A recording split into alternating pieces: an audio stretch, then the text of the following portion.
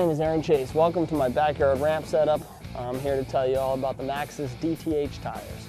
My riding style is really all over the place. I need a tire that can kind of keep up with what I'm doing. It needs to be strong and durable on landings and just riding it all day, every day.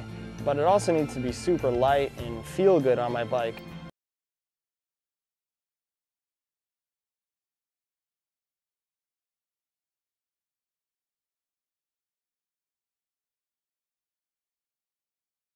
Tire tap, but it also holds on and it's predictable enough. The low tread pattern feels nice in the park, especially when you do uh, straight up and down like Canadian foot jam nose pick. It just locks right into the coping. Feels real nice and predictable.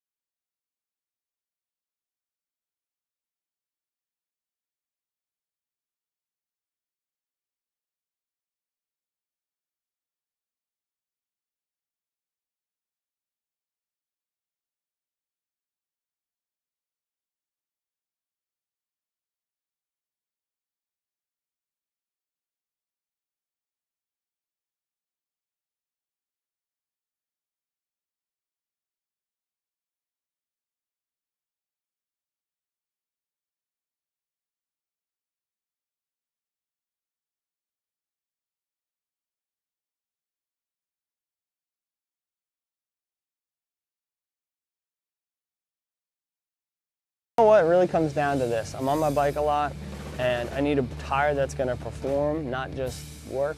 And that's pretty much all I can say about that.